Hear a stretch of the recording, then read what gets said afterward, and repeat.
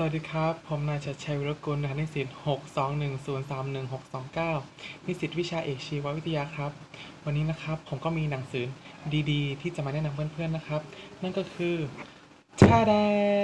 แหวงที่รักนั่นเองครับ ซึ่งหนังสือเล่มนี้นะครับ ก็เป็นผลงานการประพันธ์ของผู้ช่วยศาสตราจารย์ขวัญฤดีอัตวาวุฒิชัยนะครับ หรือมีนามปากกาว่าชบาบาล ซึ่งเรื่องนี้นะครับจะเป็นกล่าวการกล่าวถึง ที่มาที่ไปของอำเภอแว้งจังหวัดนราธิวาสที่เมื่อก่อนนะครับเราสามารถได้ยินชื่อเสียงชื่อเสียงนี้จากข่าวความไม่สงบจากจังหวัดชายแดนภาคใต้นั่นเองครับอ่าเดี๋ยวผมขอเล่าก่อนนะครับว่าผมรู้จักหนังสือแว้งได้อย่างไร ก็คือเมื่อตอนม .6 นะครับ ผมอะมีโอกาสได้เข้าร่วมการแข่งขันเอ่อทักษะทางวิชาการของทางโรงเรียน ซึ่งในระดับเขตพื้นที่นะครับเขามีการกำหนดให้อ่านหนังสือที่ได้รับรางวัลต่างๆ ซึ่งผมนะครับ ก็เขาได้กำหนดให้อ่านเรื่องแว้ง ซึ่งผมเนี่ยเป็นคนที่ไม่ชอบอ่านหนังสือมากเลย แต่ว่าวันนึงนะครับคุณครูก็ได้เอาหนังสือเล่มนี้แว้งที่รักไม่ผมอ่าน ซึ่งคุณครูบอกว่าต้องอ่านให้จบนะ ซึ่งตอนแรกผมก็ว่าผมก็จะไม่อ่านเพราะว่าผมเป็นคนไม่ชอบอ่านหนังสือ ก็เลยแบบอะลองอ่านสักนิด แล้วก็วันวันนึงนะครับ ผมก็เลยลองอ่าน วันนึงผมวันนั้นผมอ่านได้สามหน้าแล้วผมรู้สึกว่า เออมันเป็นเรื่องที่ดีนะ มันเป็นเรื่องที่เกี่ยวกับเออใกล้ๆตัวเรามันเป็นของจังหวัดภาคใต้ ซึ่งผู้เขียนนะครับก็เขียนได้ดีได้ดีมาก ซึ่งเนื้อเรื่องทั้งหมดนะครับก็จะเป็นการกล่าวถึงอำเภอแว้งไม่ว่าจะเป็นที่มาเหตุการณ์ต่างๆ โดยผ่านตัวละครที่ชื่อว่าน้อย ซึ่งน้อยนะครับจะเป็นเด็กตัวหนึ่งอายุประมาณสี่ขวบ ซึ่งเขาเนี่ยได้ใช้ชีวิตอยู่กับพ่อแม่ที่เป็นชาวไทยพุทธแต่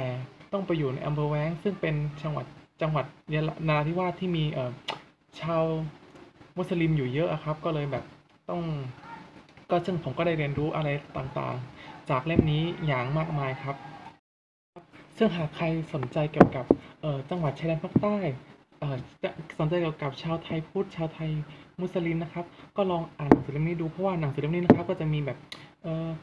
เกี่ยวกับวิถีชีวิตครับ ไม่ว่าจะเป็นการเรียงพลูเพื่อที่จะแบบต้อนรับแขกการขัดเกลาการเกลาหมากเพื่อจะเอาไว้รับแขก ไม่ว่าจะเป็นแบบวัฒนธรรมของทาง ของทางมุสลิมก็มีนะครับ ไม่ว่าจะเป็นวันฮาดีรายอก็ตามการใส่ฮิญาบอะซึ่งจังคนคนสงขลาอย่างคนที่มาเรียนสงขลาอย่างเราก็อยากจะเรียนรู้เพราะว่าก็ก็แบบ